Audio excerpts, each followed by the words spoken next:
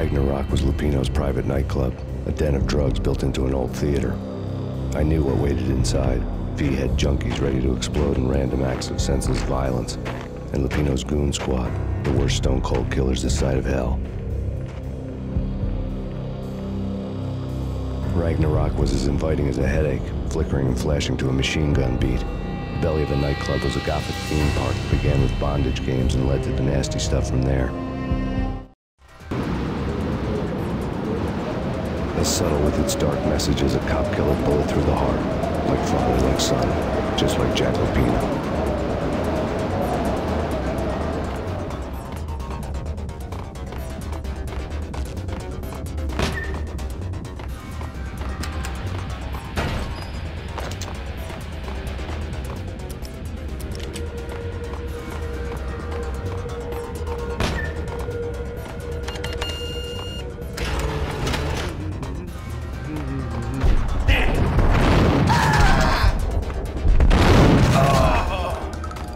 Book had never been a bestseller.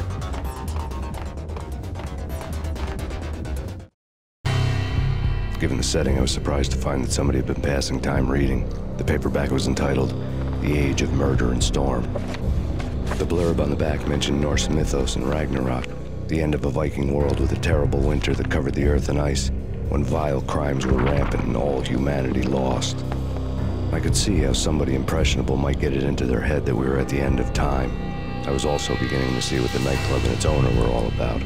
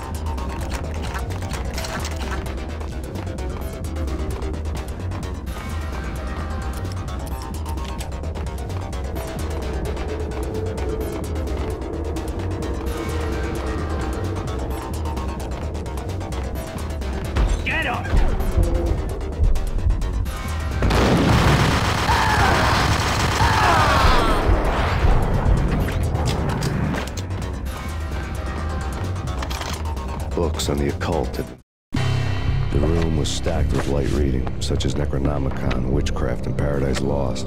Old exotic titles like Malleus Maleficarum and De Umbrarum Regni Novem Portis.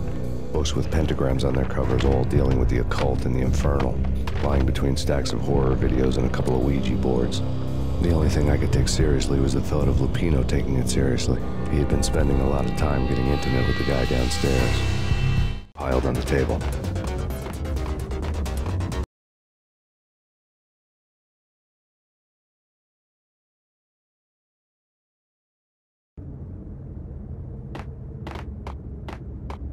What with Dino and all, I wouldn't say anything to his face. He might not. Who knows what he? Uh, but somebody's gotta go. It's Payne!